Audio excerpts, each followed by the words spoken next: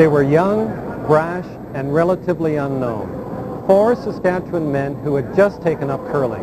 The year was 1959, and the game wouldn't be the same.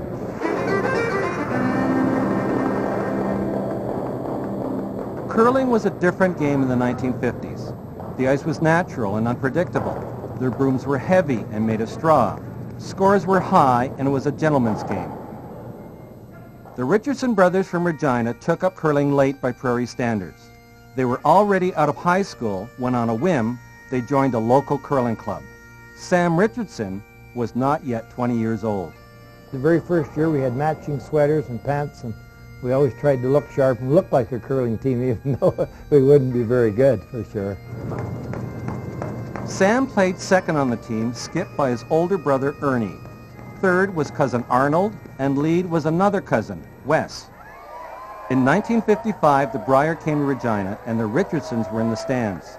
Saskatchewan had never won the Canadian Championship, but the Campbell brothers from Avonlea changed that. Sam turned to his mother and said, we're going to play in the Brier someday.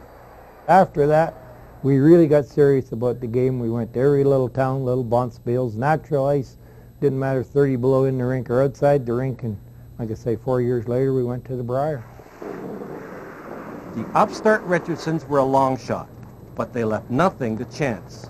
They were systematic, aggressive, and above all, competitive. It paid off. In 1959, they won their first Brier. If you won a sweepstake, you wouldn't feel that good.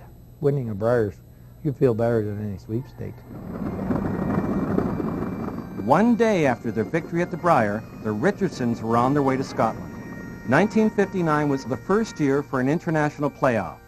The best teams in Canada and Scotland would face each other on the ice. The Scots didn't know what hit them. In the first match, the Canadians played their aggressive game, knocking out their opponent's rocks rather than placing their own rocks in the rings. We were sweeping it to hit and roll out and get the blank. And, and you could hear the, the old Scotch fellows in the background say, oh, that's nigh curling, nigh curling, blank in the end. And then they ask us, why did you blank? And Ernie says, well, we blank because we try to score more than one. we don't play for one. The Richardson rink hammered the Scots five games out of five. They returned to Regina to a hero's welcome. Three more times they went to the Brier and to Scotland. The only thing left now for Skip Richardson is the tricky raised takeout from the side. By 1963, they had a chance to become the only team to win the Brier and the Scotch Cup four times. They won. Their record is still untouched. Ernie Richardson is the only skip to win the Brier four times and the only skip named to the Order of Canada.